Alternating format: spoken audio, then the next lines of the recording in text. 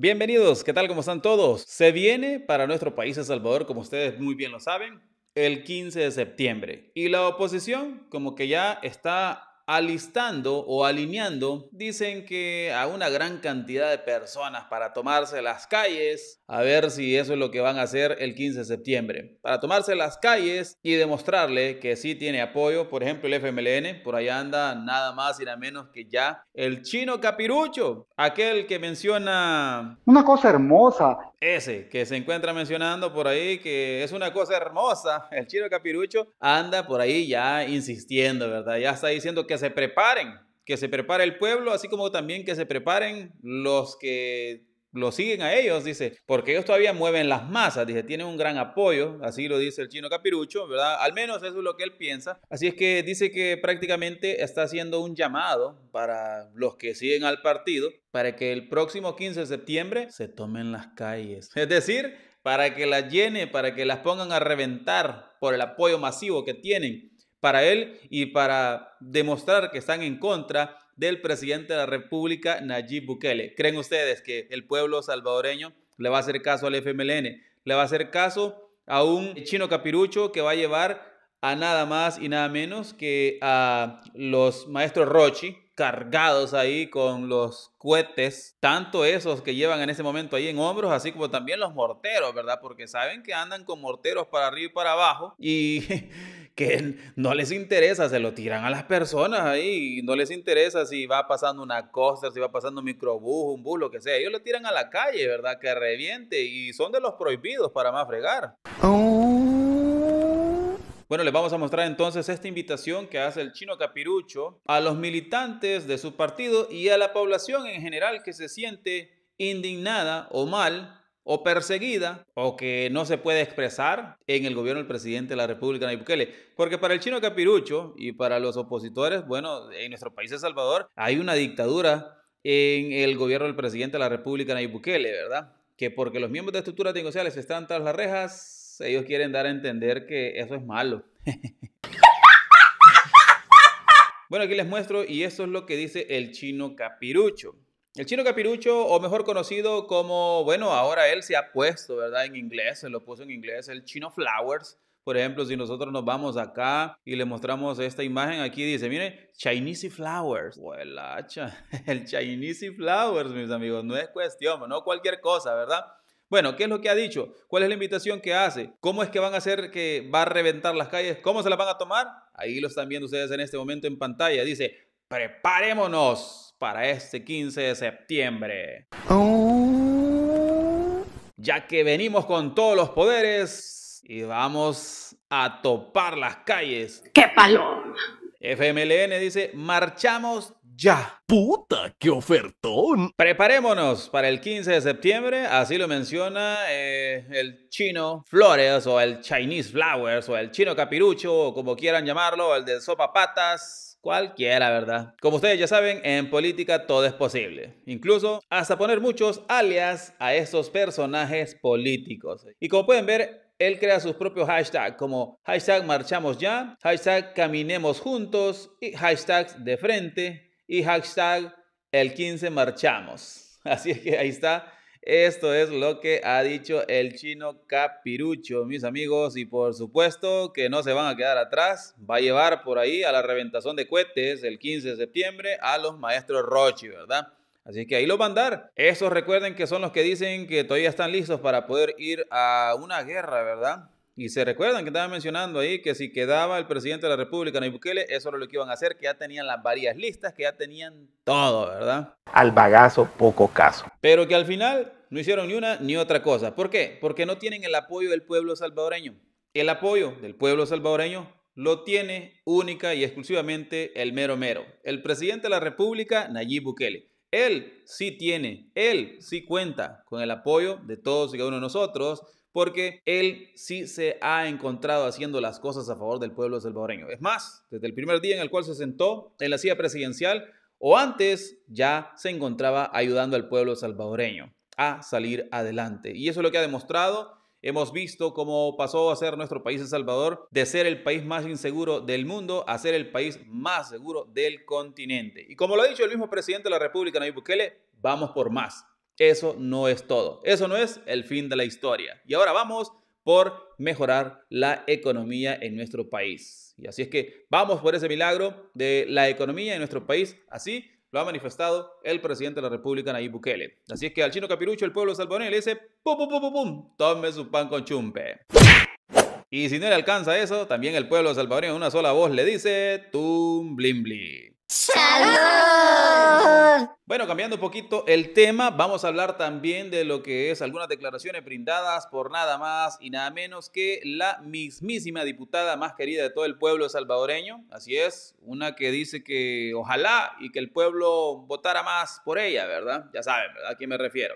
Una la cual pide en todo momento liberación para los miembros de estructuras delincuenciales. Libérenlos ya, libérenlos ya. Efectivamente, nos encontramos hablando de la mismísima Claudia Ortiz. Claudia Ortiz, bueno, ha andado mencionando recientemente que ella es alguien que tiene miedo, al igual que como lo tiene el resto de la población salvadoreña. Bueno, yo sé que ustedes y yo no tenemos miedo, ¿verdad? Sino más bien los que tienen miedo ahora son los miembros de estructuras delincuenciales. Cualquier persona que ande en malos pasos es el que ahora tiene miedo. Pero el pueblo, neles pasteles, ¿cuál zapato? Saco el eco, ¿verdad? Dios me guarde. Así es que Claudio Ortiz menciona, tal cual como pueden ver por acá, estamos en un país donde todos viven con miedo. Miedo. Bueno, los que tienen miedo andan en malos pasos y el miedo que tienen es de ser capturados por la policía de nuestro país, El Salvador. Porque el que anda mal, mal acaba, ¿verdad, mis amigos? Eh, la tengo en el cuello. Así es que llegó al extremo de decir Claudio Ortiz que usted y yo y todos los salvadoreños en el territorio nacional viven con miedo.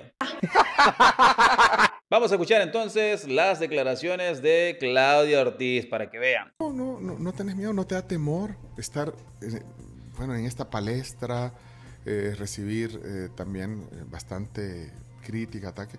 No, no, no hay momentos en que te sentís temerosa de estar en ese... Yo creo que como todos, ¿verdad? Estamos en un país donde todos viven con miedo. Creo que yo no soy la excepción. Creo que todos sentimos algún nivel de temor por la inseguridad jurídica que existe. Pero a ver, todos tienen miedo de dar su opinión, los medios de comunicación se autocensuran, la gente no pone publicaciones que exactamente lo que piensa en redes sociales.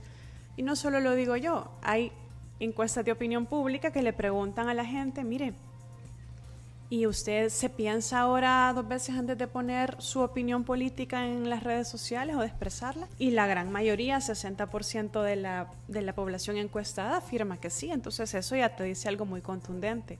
El miedo se le está inyectando a nuestra sociedad día con día, eh, de expresarse libremente, de organizarse, de señalar, de criticar. Bueno, bueno, bueno, ahí tienen, ¿verdad? Esas son las declaraciones que brinda Claudio Ortiz, porque en su mundo, en su mente, el pueblo salvadoreño tiene miedo, dice.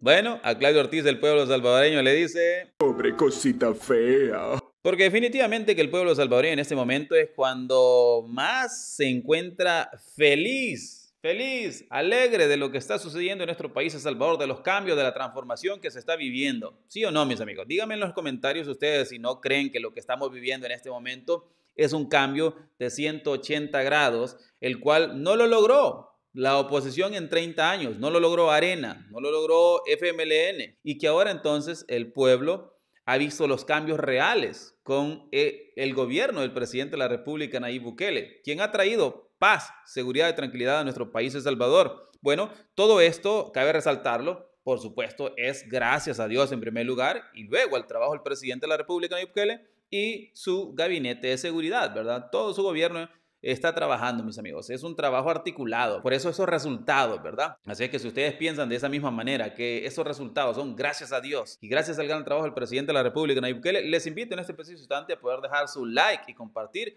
para poder llegar a muchas, pero muchas más personas que se enteren de lo que anda hablando la oposición, para que no se los quieran bajar, ¿verdad? Porque nadie tiene miedo en el territorio nacional, a menos que no sean los miembros de estructuras delincuenciales. Eso sí, andan con miedo, ¿verdad? Eso sí podría decir el pueblo salvadoreño que cualquier delincuente anda en ese preciso instante, bueno, desde el inicio de la gestión del presidente de la República, Nayib Bukele, con síndrome de pato. ¿Cómo es el síndrome de pato? Que a cada paso que dan son chorros los que tiran. Así, así es como si efectivamente anda los delincuentes y los miembros de estructuras delincuenciales en el territorio nacional, porque ahora el gobierno del presidente de la República, Nayib Bukele, no les da, como se dice en buen salvadoreño, agua. Así es que la oposición, no hay que decir el chino o cualquier otro opositor pueden decir misa. Andan como cucarachas recién fumigadas de un lado para otro, como ángel del farolito, sin saber en realidad cuál es el rumbo que deben tomar. Porque el de decirle al pueblo salvadoreño que van a tomarse las calles, que se preparen para poder ir a marchar y que de alguna manera pretenden hacerle pensar al pueblo salvadoreño que tienen la fuerza para llegar a las calles y llenarlas, ¿verdad? Con personas que demuestren estar en contra del presidente de la República, Bukele, eso es totalmente falso. Ellos piensan que el pueblo salvadoreño se chupa el dedo, ¿verdad? ¡Qué paloma!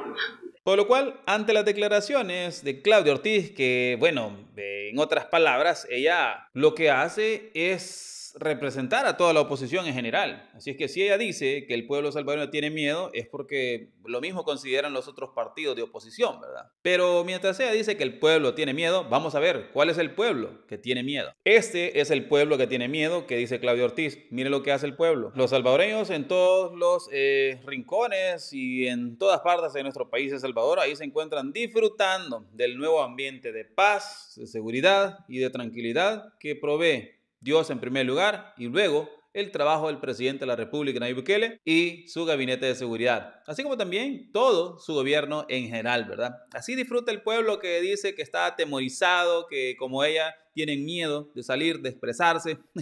Mire qué felicidad de todo el pueblo salvadoreño, que cómo llega a las calles, cómo llega, cómo inunda, cómo llena estos lugares, así, miren, mares de personas, ahí donde antes era difícil el poder llegar a esos lugares, concentrarse a altas horas de la noche o en la madrugada. ¿Por qué? Porque los miembros de estructuras delincuenciales no permitían que eso sucediera, porque ellos eran los que gobernaban. Pero ahora entonces eh, no es que el salvadoreño eh, eh, de a pie tenga miedo, sino que quizás tienen miedo a aquel salvadoreño que se ha dedicado a hacer cosas malas, a infringir la ley, que de eso vivían en el pasado, ese es el que ahora tiene miedo, ¿verdad? Por ellos quizás se encuentra hablando ahí Claudio Ortiz. De ellos es que dice que es la representante, ¿verdad? O la cual es la voz, porque ella dice que representa a todos aquellos los cuales no tienen voz a través de ser la diputada, los que le dieron el voto. Libérenlo ya, libérenlo ya. Bueno, ahí tienen ustedes, esas son algunas declaraciones que ha brindado Claudio Ortiz, ¿verdad? Como que se, se pasó un poquito, ¿verdad? Ahí queriendo decir que es la que representa al pueblo salvadoreño, queriendo decir que así como ella tiene miedo los demás, no, el pueblo salvadoreño no tiene miedo. Tal vez tiene ella, ¿verdad? Y quizás por todo lo que se pueda dar en torno a los 20 mil dólares o los 18 mil, ¿verdad? Porque eso aún no se ha terminado y pueda que le juegue mal ya con algo algo penal, ¿verdad? Así es que mucho cuidadito, quizás por eso está matando su chucho a tiempo y diciendo que ella tiene miedo.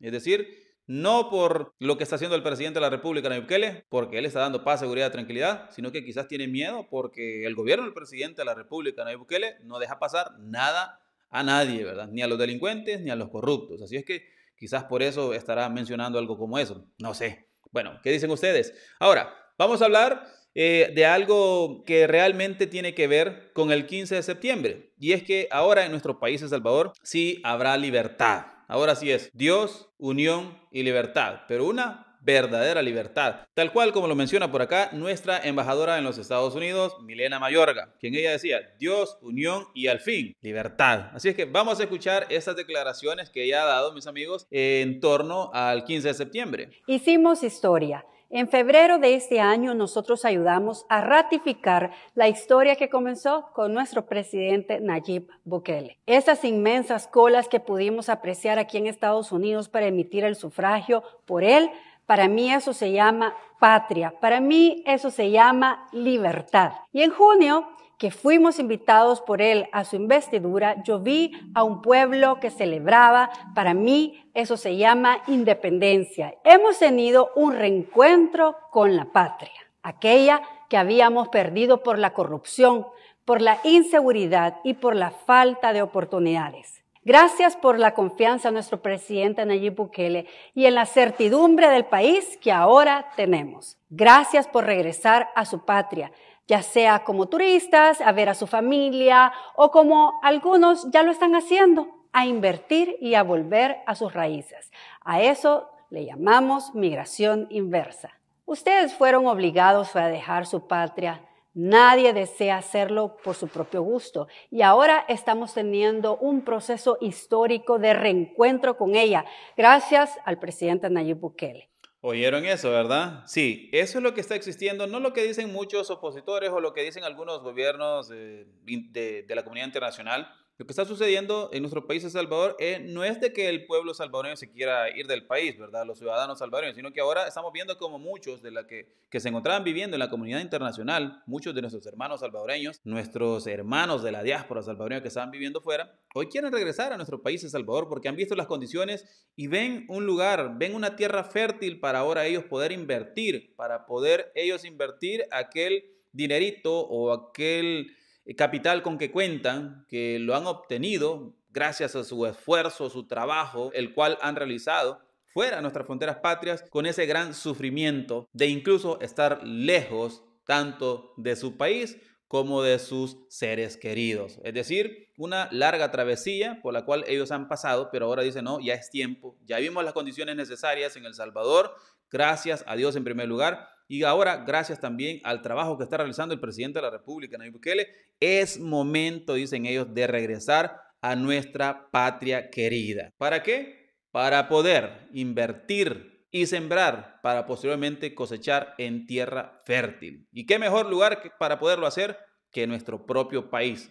Nuestro pulgarcito de América, nuestro terruño, dice por ahí la población salvadoreña. Ahora tenemos una patria bonita, más segura, sus parques y sus plazas públicas pasan totalmente llenas porque somos el país con menos homicidios del hemisferio occidental. Tenemos turistas llegando de todo el mundo y siempre se van con la mayor sonrisa de un pueblo amable que sufrió tanto, pero que ahora se reencuentra y renace. Por eso le llamamos patria querida. Ahora el gobierno del presidente Nayib Bukele está totalmente concentrado en el milagro económico y todos tenemos nuestra fe puesta en Dios y en su gobierno, que así como ya se logró el milagro en seguridad, va a pasar lo mismo en la economía. Gracias por no dejarlo solo. Gracias por acompañarnos en la construcción de esta nueva patria en la que ahora vivimos. Dios bendiga a nuestra amada patria, nuestro querido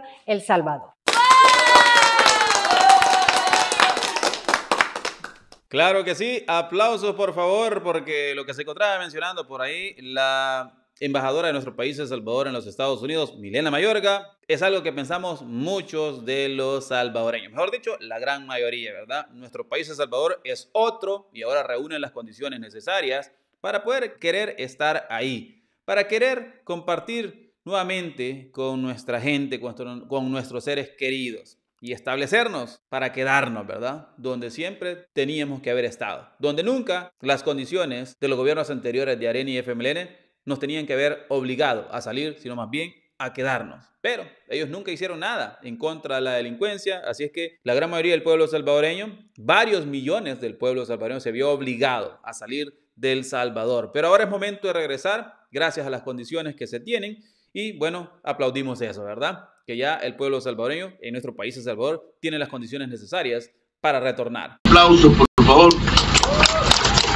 Y claro, hablando de esas condiciones para poder retornar, una de ellas, la principal, es que nuestro país, El Salvador, como lo dijo ahí nuestra embajadora en los Estados Unidos, Milena Mayorga, es el país más seguro de todo el continente, ¿verdad? De este continente americano. Así es que aquí tenemos la cereza al pastel. ¿Cuál es la cereza en el pastel? Bueno, que el día de ayer la PNC daba a conocer, mejor dicho, el día de hoy en la madrugada, la PNC daba a conocer que el día de ayer fue otro día más con cero homicidios a nivel nacional. Excelente, ¿verdad? Eso sí es algo digno de aplaudir, mis amigos. Aplauso, por favor. Esto es algo que no se veía en los gobiernos de Arena y FMLN. En esos gobiernos las cifras eran de más de 30 homicidios diariamente, donde los que gobernaban eran los gobiernos de Arena y FMLN y sumado a ello los gobiernos alternos que eran los de los miembros de estructuras delincuenciales. Pero eso, gracias a Dios, ya no más. Así que ahí tienes de esa manera, se le dice a toda esta oposición, pum, pum, pum, pum, pum, tome su pan con chumpe. Por lo cual, tanto para el chino Capirucho, tanto para Claudio Ortiz y para todos los de la oposición, no piensen que el pueblo salvadoreño en algún momento lo van a convencer de que deben votar por ellos y que deben de hacer a un lado al presidente de la República, Nayib Bukele. Eso no va a pasar.